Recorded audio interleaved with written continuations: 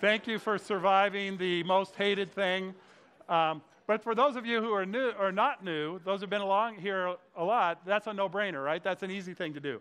But if you are here for the very first time, or maybe second time or third time, uh, thank you for surviving that. Hope you got to know someone and it made a difference and it matters. And you go, okay, I'm not so uh, anonymous here anymore.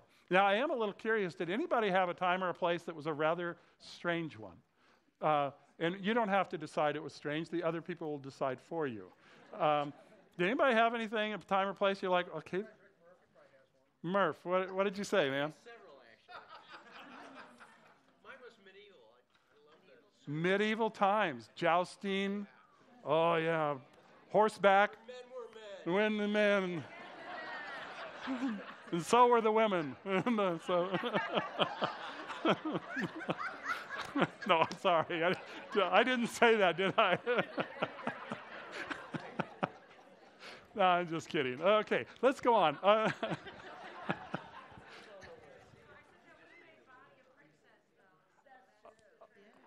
oh, yeah, that makes Bonnie a princess, and we all agree with that, right? All right. Anybody any other? Dare I go to one other strange one? I said uh, Native American pre-Columbus because uh, many of the nations were uh, matriarchal Oh, okay. Yeah, what okay, that would have been cool before the Europeans got here. It would have been really fascinating to see this to see this land and where it was. at. I'm in the middle of reading a book called uh, Empire of the Summer Moon. It's about the uh, Comanche uh, em- em- empire, basically, that existed in the Texas area and uh, really beyond that. It's fascinating, powerful book about this Indian tribe and what happened to it. So, okay, yeah, I agree with that. All right, well, so on, enough. Uh, you guys, we're in the middle of a, uh, or really, we're kind of reaching the end of a series um, called Ask Anything and Everything, and we basically um, solicited a bunch of questions from y'all. Um, and I haven't been in the South, but it seemed appropriate, y'all.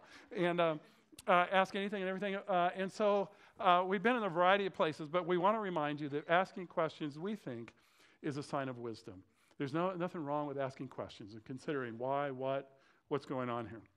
Uh, we want to give answers that have several different aspects to them that satisfy your head and your heart. We want to also talk about uh, something that's grounded in the truth.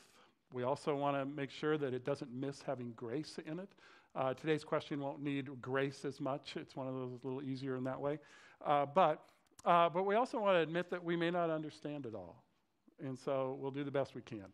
Uh, here are some of, if, for those of you new people, um, here's some of that we've addressed, addressed recently. On the 25th, we talked about what's the unpardonable sin all about.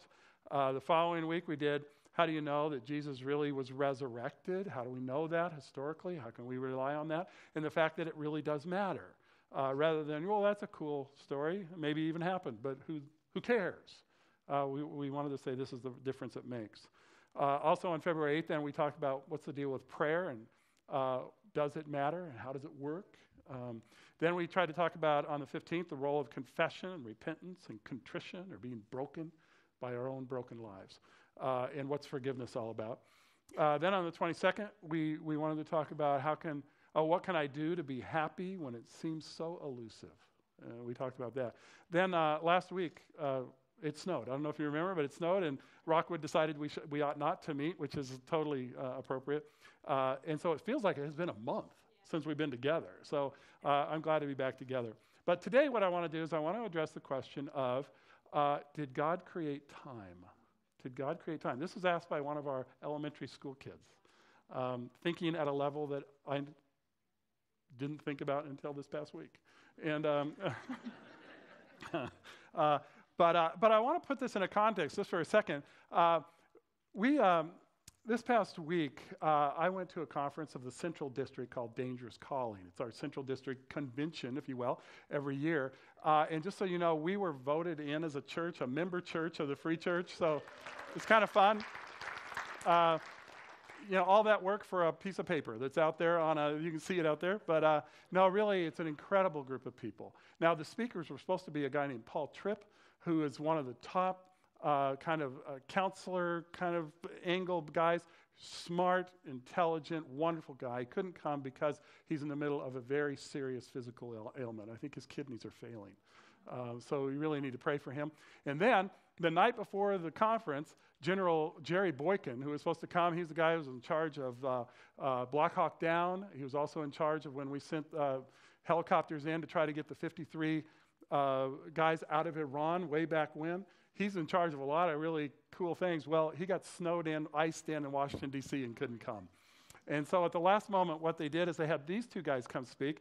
David Dockery, who is the president, new president of Trinity International University, uh, and uh, Dr. John Woodbridge, who is a professor of church history and the history of Christian thought at uh, the seminary, at Trinity Evangelical uh, uh, uh, Seminary and Divinity School, they call it. And it was, and it really, you know, I don't know if you look at them, but these guys are academians.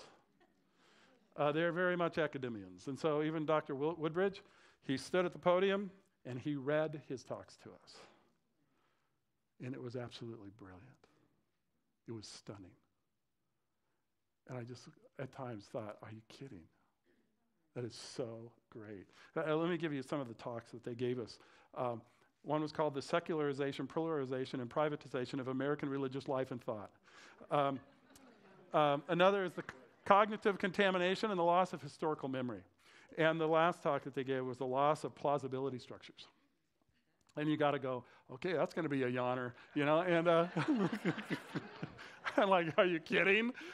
You guys, it was so rich to have these guys who have thought through this carefully and long and deep in their lives and not just thought about it on an academic level, but thought about it on a personal level and thought about it on a relationship with Christ. And you tell you guys, these really love Christ. They love him deeply. Uh, Dr. Woodbridge has taught church history at TEDS for 50 years. I'm like, are you kidding me? And the guy was funny, but he wasn't animated. He wasn't doing jumping jacks in front. Uh, he wasn't running down up and down the aisles like I tend to do. Uh, but he was so bright and so well thought out um, that these issues were, he really made them real. Uh, we'll try to bring some of that uh, to bear even as we go along. In fact, Dr. Dockery would say that the number one thing in the face of every church in America today is the issue, issue of the sexual revolution that's happening in our midst. It is the largest problem, largest challenge that we have. Um, on one level, I absolutely agree with him. Uh, and so uh, that's one of the reasons we've decided to address this uh, issue of sexuality. We'd already decided, but it was kind of confirmed. So, so, so let's go back to today. Uh, today we want to address the issue of did God create time? Uh, now, on one level, the answer is very simple. The answer is yes, he did. Uh, and so, really, what we have to do is then and maybe change the question just a little bit for today. Is we want to change it to this: What is the nature and the purpose of time? And not just time, but when to, to put it in this in context for to be more relevant for today is is and space also the issue of time and space. Now, here's the deal: it is a question that's been wrestled uh, with both uh, philosophically and scientifically, this issue of space and time. Uh, what is it all about? How does it, why does it exist? Um, in fact, let me just say, for, for example, in the midst of the theory of relativity, uh, where time and space is not distinct from one another, they become, Im- that's kind of what happens inside this theory of relativity. Uh, and trying to figure out where does all of that go. For example, I did a lot of reading this past several weeks about this.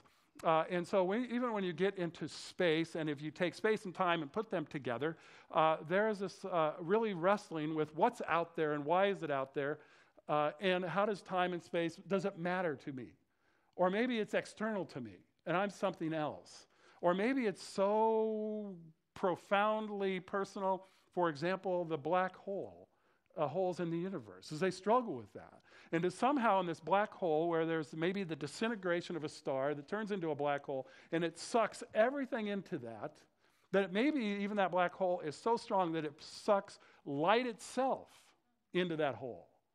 And then you begin to, begin to think what, ex- what exists in that black hole? Where does it go? Does it go into nothingness and therefore there's no such thing as time and space through that black hole? Or in that black hole, does maybe it suck everything in and it sucks you right into another universe? Or in that black hole, does it suck you right out and then back in another spot in the universe in which we know it? And so they're really wrestling with how does this issue of time and space relate to us? Uh, probably one of the other issues kind of related to that then is cosmology, which is the Greek word for cosmos, which is world, and uh, the word uh, log- logia, which means study of. And so it is the study of the origin, evolution, and eventual fate of the universe. Where's it going? Is it going to get sucked into a black hole? And where does it go from there? Uh, what's that thing all about? So they're pretty real, real issues. In fact, they're so real. Look at this. Uh, Stephen Hawking and Roger Penrose, uh, who are two very accomplished scientists, uh, wrote a book together several years ago called The Nature of Space and Time. Uh, it's a debate between them. And in fact, it, it says here it's a debate. This is one of the commentators on the book. It's a debate concerning the ultimate quest to combine quantum mechanics and relativity and how differently these two men have labored to comprehend, look at this, to comprehend what seems to be incomprehensible. They're trying to really wrestle with these issues and understand them uh, of this issue of space and time. Well, I think those are important. Let's go back to cosmology here. Um, if it's really understanding the origin, evolution, and fate of the universe, I think here's the, the bottom line for me. Because I struggled with these things, that there has to be a perfect integration of both philosophical and scientific truth. There has to be. If God is, a, is, is really God, then there has to be a reality of the integration of the, both the philosophical and scientific truth that we have to struggle with. Because he is not a God who is out of control or a God who is a fake. He's got to be a God who's in charge of all of that. And there has to be an integration of it in space and time. Uh, uh, let me just change the last two words. Maybe it helps us a little bit. It has to be a perfect integration of both the immaterial and material truths in this issue of space and time. Well, either that or God's just some sort of a mythological figure that kind of exists outside of truth. And that can't be right, or else he's not God at all. So it seems to me we come down with this question of space and time. We come down to do they confine, do space and time confine our experience, or do they define our experience? And there's a lot of people, I think, struggling with saying that space and time might confine it. If, it's, if I don't know how to define it, I don't know where it comes from. And so, what if I could escape space and time? What if I could get beyond it? What if it didn't define me? Or is it really one of those defining dimensions? Well, let's change the question just a little bit. Maybe is it do they restrict our experience or do they enrich our experience? This issue of space and time. What if I could escape it? This, this world and the time in which I live or the, the sequence of events, what if I could escape it? Because sometimes living inside of space and time is a painful experience. Sometimes it feels inadequate. And there are people who will want to try to escape that on one level or another. And so we have to decide does it restrict us or does it enrich us? And here's, here's where I'm going to come from this morning. I think, biblically speaking, that space and time define and enrich our experience by the design of God Himself, who created both out of nothing and will be definitive for the rest of eternity that there will be space and time for the rest of eternity. And so it's the context in which he puts us. Now, the space will change. Someday it says that this world's going to go away and there will be a new heaven and a new earth. But there will still be a spatial reality. And there will still be time, there will be, there will be no end to time. Eternity will exist, but there is still a sequence. So, here's what I want to do is I want to look even at, at this and the issue of time. Look at, look at Genesis chapter 1. It says, In the beginning, God created the heavens and the earth. That's kind of a large general statement. Okay, now look at verse 2. And the earth was without void, was without form and void. And darkness was over the face of the deep, and the Spirit of God was hovering over the face of the waters. Now, here's the deal that before creation, there was no such thing as space and time. God existed outside of that. He didn't need space and time to define who he was that in the, in the Godhead, the, the Father, the Son, and the Holy Spirit, who are eternal, who have always been, are, and will always be, that they existed outside of space and time. And that was fine with them. They have no problem with it. they, because they are self sufficient in themselves, the Godhead. But when God decided to create the world, he created space and time. So here it says the earth was without form and it was void. There was nothingness. Now look at verse 3. And God said, Let there be light. And there was light. And God saw that the light was good, and God separated the light from the darkness. And God called the light day, and the darkness he called night. And there was evening, and there was morning the first day. You, you see that? He created time, sequence. Evening, morning, there's a sequence of time God created. Wow, I think that's incredible. So here's the thing the first thing that God created in all of creation was time itself, expressed by the light of day and the darkness of night. Now, let me just give it give a small definition here. It is the linear and sequential dimension of our lives that in large part defines our reality. There is a sequence to it, right? There is a linearness to it. There is, it, the Bible says that there it was appointed once for man to be born, then to die, and then comes judgment. It is linear and sequential in nature. Uh, li- life, though it has some cyclical dimensions, is not just a cycle of reincarnation coming back again and again and again. It's a one time deal, and it's linear in its nature, and, it ha- and it's sequential in its nature. It's the dimension into which God created us. Uh, and so taking it seriously, embracing it, understanding it is a part of life, that it has a sequence. And what's going on right now will not be exactly the same thing of what might develop in the days, weeks, months, years to come. Now, I don't know about you, but in some ways that gives me hope. I don't know about you, but uh, sometimes what's going on right now in my life I hope, has some change and some development, maybe some redemptiveness. So that in this linear and sequential dimension, this is where God put me in my reality. So let, us throw this to the top of the screen, um, and then let's make it smaller so we can add some things here.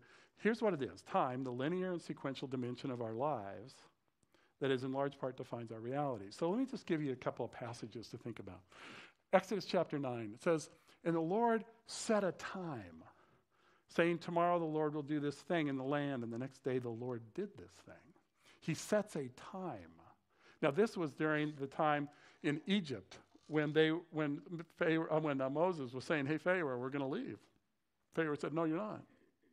And he said, Well, you know what? When God sets a time, he sets a time. And he's, some of the plagues that happen, it says, God set a time. And it happened that God sets a time for us. Inside this thing called time and space, He sets times in our lives and what He's going to do, and He follows through. Look at this in Ecclesiastes, famous passage. For everything there is a season and a time for every matter under heaven. You guys, let's keep going. It says there's a time to be born, and there's a time to die. There's a time to plant, and there is a time to pluck up what is planted. There is a time to kill, and there's a time to heal. There's a time to break down, and there's a time to build up. There's a time to weep, and there's a time to laugh. There's a time to mourn, and a time to dance. There's a time to cast away stones, and there's a time to gather stones together. There's a time to embrace, and a time to refrain from embracing. There's a time to seek, and a time to lose. There's a time to keep silence, there's a time to speak, there's a time to love, and a time to hate. There's a time for war, and there's a time for peace. There's a time for everything under heaven. It's interesting. There is a time. God has set a time in our lives. Wow. Look at this, the end of that whole verse. What gain has the worker from his toil? It's a great question. I have seen the business that God has given to the children of man to be busy with. He has made everything beautiful in its time. Wow. Also, he has put eternity into man's heart, yet so that he cannot find out what God has done from the beginning to the end. God has set eternity in our hearts that there is a time for each of these things. We don't know exactly when or how God is unfolding everything, but he has given us a time. Time is an important part of life. Wow. Look at this in Ecclesiastes a little longer. He says this a little farther into the book. He says, Again, I saw that under the sun, the race is not to the swift. I like this passage. It's not to the swift, nor the battle to the strong, nor the bread to the wise, nor riches to the intelligent, nor favor to those with knowledge. but time and chance, and not chance uh, like good luck, is to God's providential work, is really what it's talking about. But time and chance happen to them all. For man does not know his time. Like fish that are taken in an evil net, like the birds that are caught in a snare, so the children of man are snared at an evil time when it suddenly falls upon them. That uh, we do not know exactly our time, but there are times where things happen. Have you ever had a timing in your head for what life was supposed to look like? How many people have ever had a timing? You had a picture and a timing. How many people, really? Okay, all your hands should be up because I know you do. Okay, how many people it has happened exactly like you thought it was going to happen? Let me see your hands. Okay, okay, nobody, I got it. Okay, how many that that that tension between what you had pictured and what has happened, how many are bothered by that? Yeah, me too. It bugs me. God, I had a different idea. I had something better in plan. He goes, Kevin, I've I've got a time for you. I'm doing something. It's not what you thought. Wow. Look at this in Psalm 31. It says, But I trust in you, O Lord. I say, You are my God. Now look at this. Here's the thought. My times are in your hand. Right? We wanted them to be in our hands. The timing of this whole thing. I wanted it. I want to control it. He says, No, the author here says, My times are in your hand, God. Rescue me from the hand of my enemies and from my persecutors. Make your face shine upon your servant. Save me in your steadfast love. God, okay, this isn't working out like I intended. I'll trust you. My times are in your hand. Because this time, this sequential unfolding of life is in your hands. It matters. Wow. Look at this in Galatians 4 4. It says, but when the fullness of time had come, had come, God sent forth his son. At this unique time in all of human history, in the fullness of it all, he sent his son at the right time, in the right place, at the right time. You know, Jesus Christ Superstar, the, the famous Broadway show. You know, why did you send him at such a strange time in such a backward land? What were you thinking, God? You're, are you out of your mind? And he goes, I know it looks like that, but I'm not. I knew exactly what I was doing in the fullness of time. Wow. Look at this in Ephesians. In him we have redemption through his blood, the forgiveness of our trespasses according to the riches of his grace, that he lavished upon us in all wisdom and insight, making known to us the mystery of his will, according to his purpose, which he set forth in Christ as a plan for the fullness of time, to unite all things in him, things in heaven and things on earth. God is in charge of timing in this thing that He's put us in, in the midst of this sequential unfolding of life by, by His design, by His desire. Look at Colossians 4. Walk in wisdom towards outsiders, making the best use of the time that you have. And we never know exactly, do we, how much more time we've got? Um, you never know.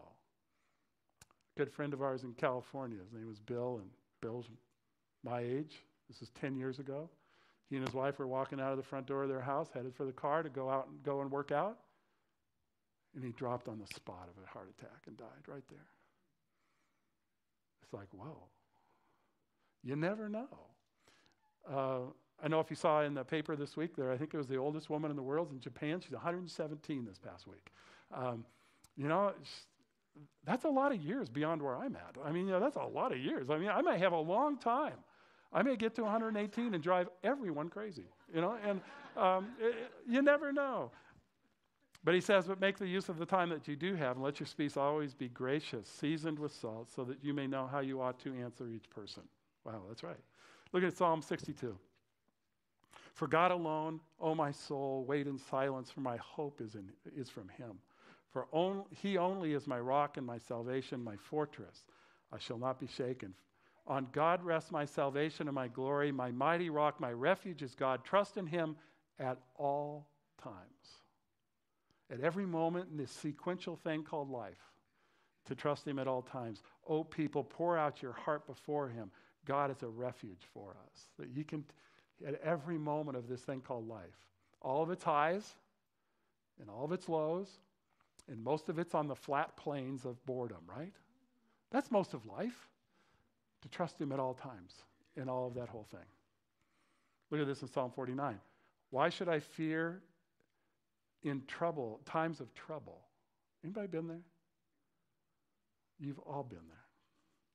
And we'll all be back there. That's what I hate about this thing. We'll all be back there again.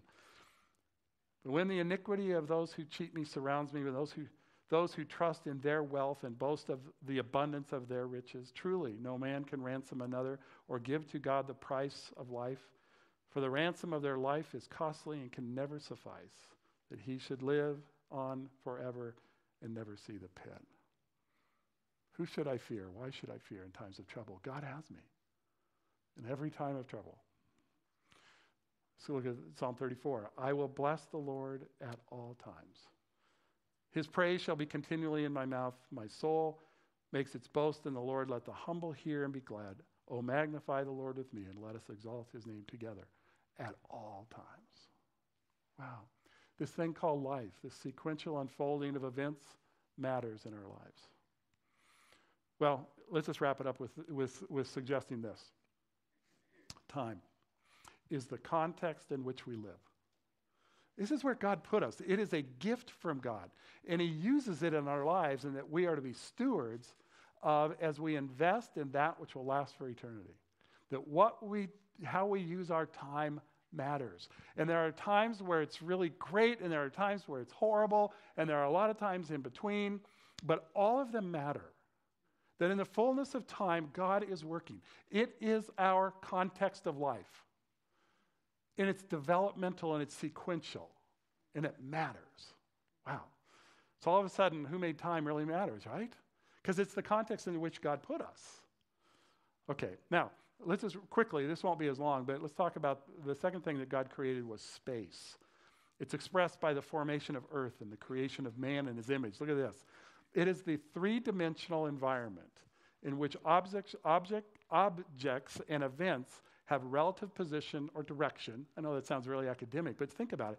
It's this, this environment where everything matters where it's put. And he did it for us. So you live in Missouri for a purpose. Now, I don't know if you know, but the, the beaches here are not that great. know, they're not. You go to California, you can find far better beaches. You can go to Florida, and the beaches are better than they are here, just so you know. Um, the mountains here are not like the Rockies. Um, but there are some things here that God has done in this place, this place called Missouri, Illinois, whatever it is, that are amazingly beautiful. And, and, for, and He made this place for you and I to be, to have our being right now, to live it out. It's incredible what He's done. Now, let's just finish this. Now, Immanuel Kant said this uh, part of an unavoidable systematic framework for organizing our experience. You see, God gave us a place to organize our experience. It's called time and space, this place in which we live. So, you could almost put it this way it is the gift of God that gives us an environment in which we can organize and understand God's work in and through our lives. He wants to do it right now in this place called St. Louis, Missouri or Clarkson Valley or wherever we are, right here in this place. Wow, he gave it to us. So let's put that the definition up at the top of the screen and let's just look at this. Look at creation, you guys. After he made time in Genesis, then he created the outer space or the heavens on the next day on day 2. Then he created the land and the sea and the vegetation on day 3. He began creating the space for us. Look at day four, he, the creation of the sun and the moon. He created light and darkness on day one. He didn't create the sun and the moon until day four. Interesting enough. Creation of the, of the sea life and the birds on day five. And then on day six, he created the land mammals. And then he created you and me. He created Adam and Eve. He created in his image that which for the very first time in all of creation was called very good. Everything else was good. And then he created mankind. You know what I think happened in heaven? Is, is that they were going along, and the angels, the angelic world that already existed, they were watching this unfold, and they're like, wow, that's incredible. Look what he just did. Wow, can't wait to see tomorrow. And, and they're like following this thing along. And then on day six, they're going, that's cool. I like that horse. You know, okay, look at that strange thing he just made called a hyena. I mean, I mean, and then all of a sudden, He made mankind, and they went this like this. They went, His image. Created in His image. Everything changed. Creation just took a whole new another level. He made man and woman in His own image, image bearers. And the whole universe gasped to watch what would happen. In space and in time, He created us. So here's the deal. I want to wrap this up. The nature of space and time. They are gifts from God that give us context and understanding of life itself as God unveils and reveals his handiwork and his redemptive plan for you and for me. So I, I, think we just kind of get used to living life, spending time, existing in the space in which we exist. And we forget that they're a gift. We forget that God made us. And He's using it, this time and space, to help form us into who we are. Whatever the time and space that you have in life right now, whatever that is.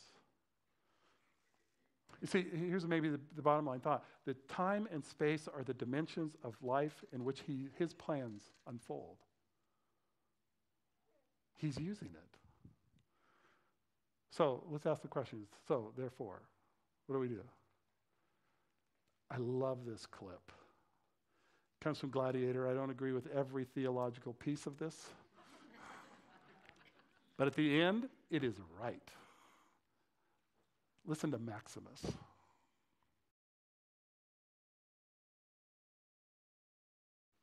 What we do in life echoes in eternity.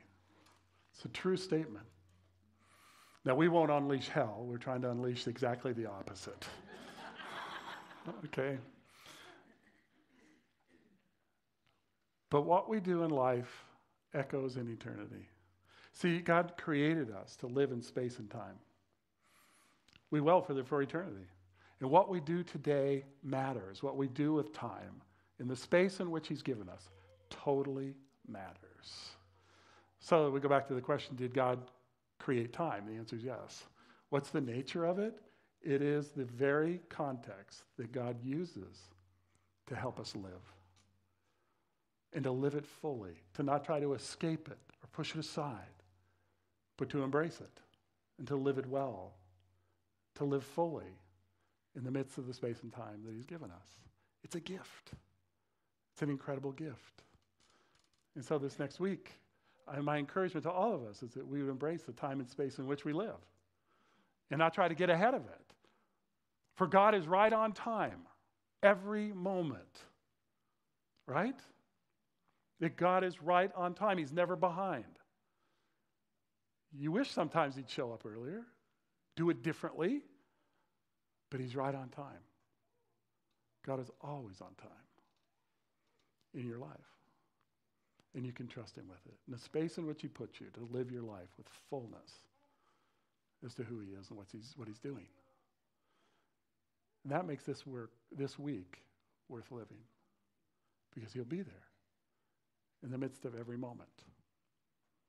That's my encouragement for us to be people who would live it fully this week. Next week's not guaranteed to any of us. So let's live this one to the fullness of what He created us for. Let's pray.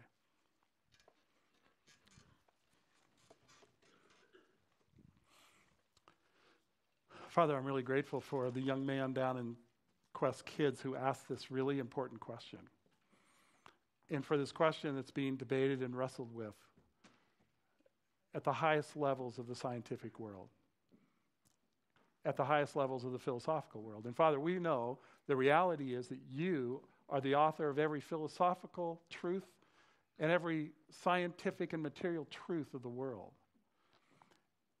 And I don't understand all of it, but I also know that you put me in this time and this place. And you put each one of us in this time and this place in order to live and to live well. In the midst of the troubles, we'll give you our praises. In the midst of the difficulties, we will recognize your sovereignty. In the midst of our disappointments, we acknowledge the fact that your, your, who you are in your person gives us hope. And so, Father, we do pray that this coming week we would live inside this gift that you've given us of time and space, and we would live it well. And we would live it in the power of your Spirit. And that we would give ourselves to the things that you have appointed for us in this time, in this particular week. May we live it well. God, may we honor you and love you and enjoy your incredible love for us. And these things we do pray in Jesus' name. Amen.